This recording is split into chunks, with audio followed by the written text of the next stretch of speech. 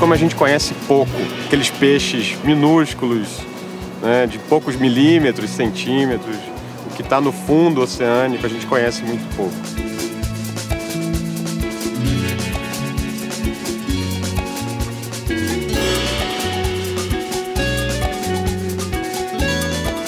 As expedições então são planejadas com um período aí uh, longo, onde nós calculamos as transecções, os transectos. Isso tudo é calculado previamente para que a gente possa cumprir esse cronograma num período aí de 10, 15 dias embarcado.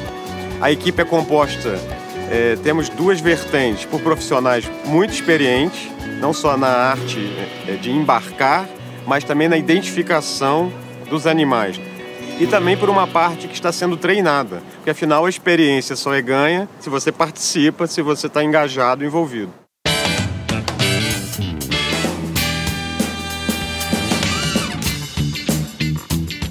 Basicamente, a gente escolhe as nossas parcerias baseadas em, em o que, que a gente tem disponível de boa qualidade no mercado. Seja, é, eventualmente, alguma parceria com uma instituição privada ou principalmente com as universidades e órgãos públicos.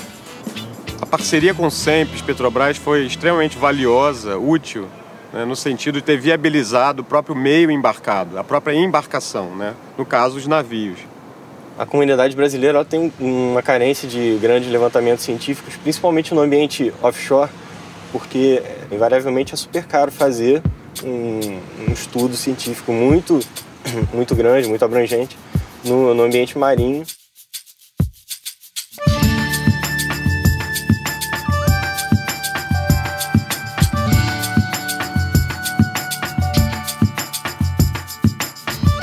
Então, o, o, interesse da empresa, e nisso é, esse tipo de projeto que a gente faz, ele, ele, ele tá, está relacionado diretamente a isso, é minimizar o que for possível do, do impacto ou do potencial impacto da gente que está ali.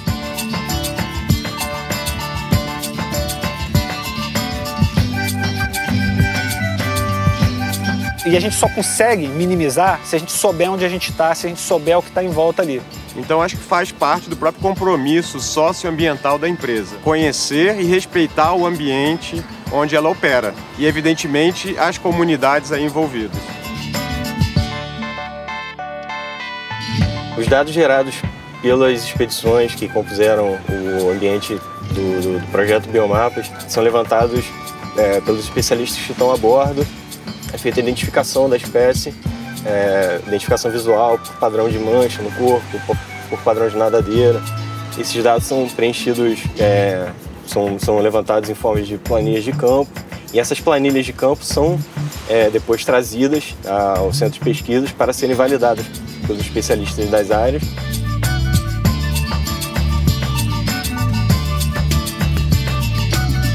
Isso gera gerou, gera e vai gerar ainda, né? Uma massa de dados que é trabalhada, retrabalhada, várias publicações, várias que já saíram e estão saindo, né? Com certeza, os dados que vão estar lá vão ser úteis para uma, uma gama de, de, de pessoas, desde acadêmicos, crianças.